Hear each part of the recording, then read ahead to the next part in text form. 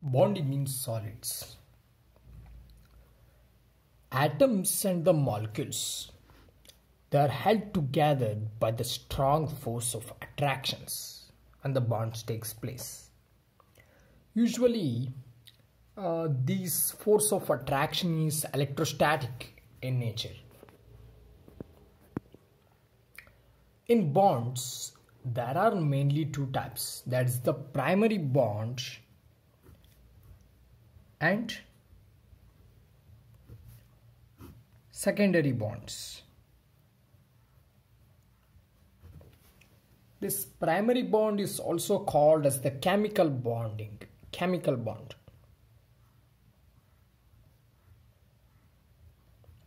And this is secondary bond means it is the molecular bonds.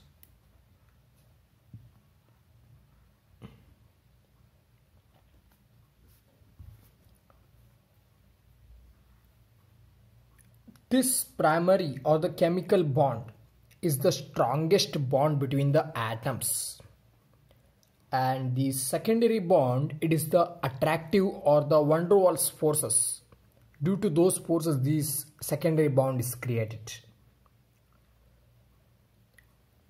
Primary bond include ionic bonds covalent bonds and the metallic bonds. Ionic covalent and metallic. And these secondary bonds or the molecular bonds they include dispersion bond dipole bond and hydrogen bond. Dispersion dipole bond and hydrogen bond.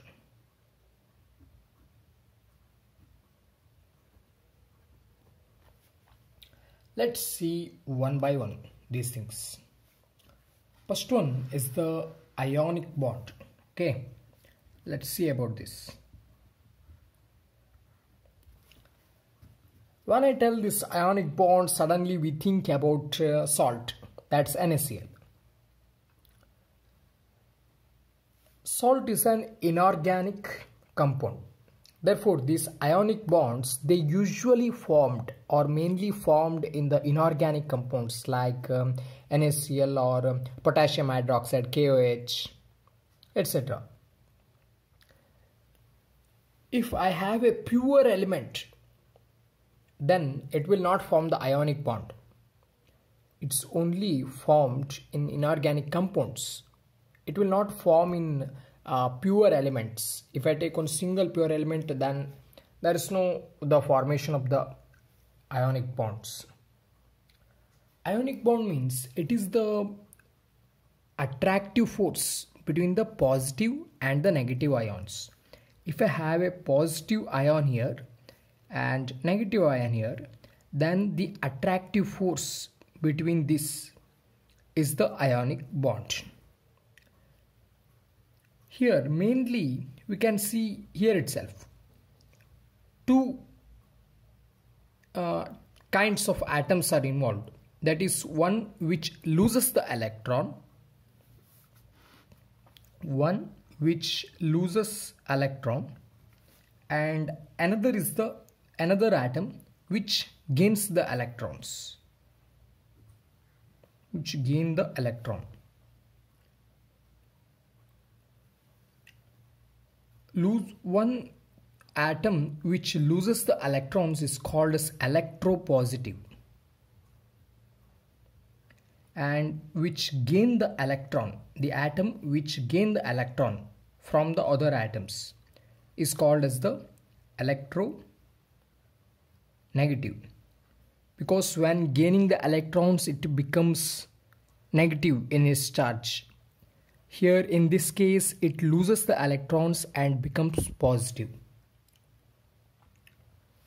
If we consider the example and we can understand it better okay.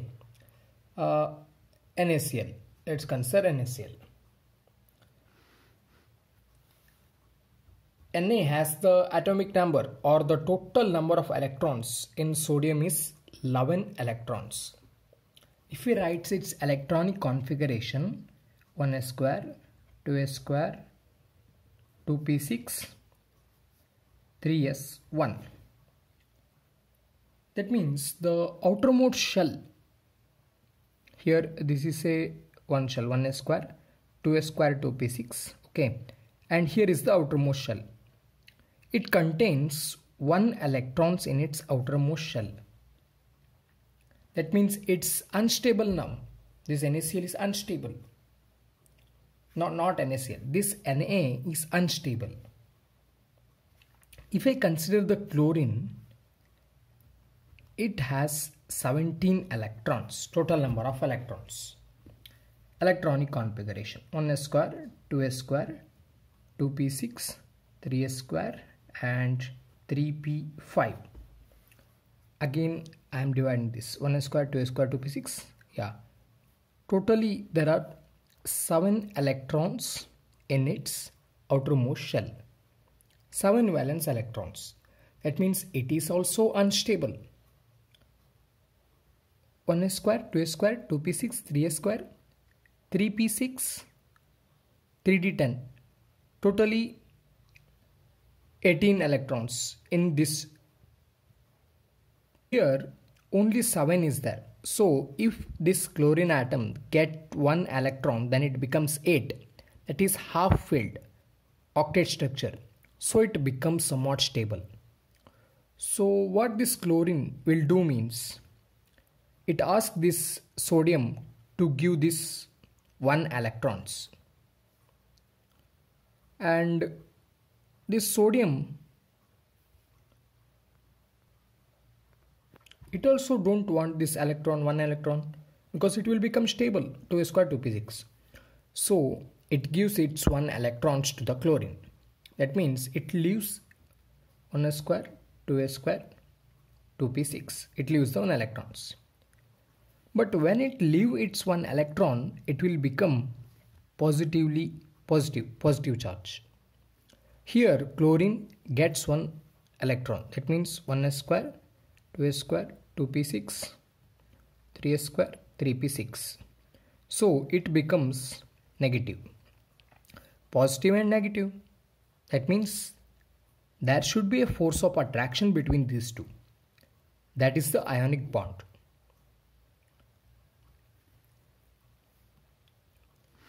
Here is my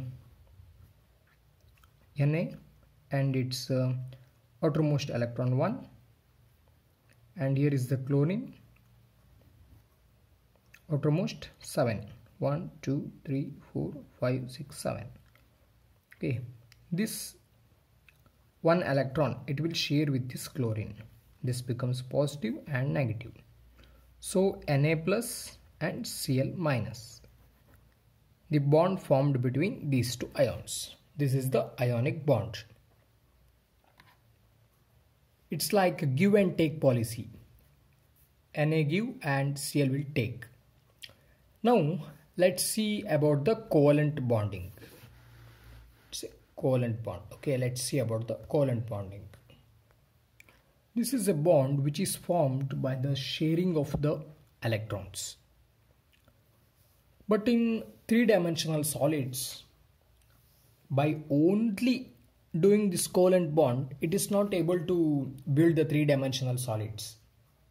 So it has some ionic or hydrogen bonds along with this covalent bond. Covalent bond means it's a mutual sharing mutual sharing of electrons. Uh, best example is the chlorine. Cl it's a unstable. Cl2 is stable. Why means uh, the chlorine it has 7 valence electrons. Chlorine it has 7 1 2 3 4 5 6 7 it has 7 valence electrons and here is a, another chlorine atom. This also has 7 valence electrons. 5 6 7 what this chlorine will do is it asks this chlorine to give one of its electrons so that it will become stable. This chlorine also asks one electron from this chlorine. What these two chlorine will do means they share 1 1 electrons from these two atoms. That means this chlorine give this atom to this. It means shares. This chlorine shares this atom to this. So this chlorine atom now 1, this 1, 2, 3, 4, 5, 6, 7, 8. This also will become 8. So it will become stable. So the monos monochlorine atom it's unstable. So it forms the Cl2 molecule.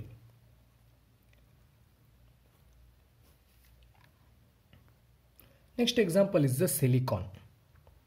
In silicon it has four valence electrons. Silicon. Okay. One two three four. Here is another silicon. One two three four how much electrons it need to make 8 electrons? It need another 4 electrons. So what this silicon will do means it will form 4 bonds 4 covalent bonds with the neighboring silicon. That means it will form like this. So it this silicon atom get one electron from this silicon atom. This also get one. Again here another silicon atom is there.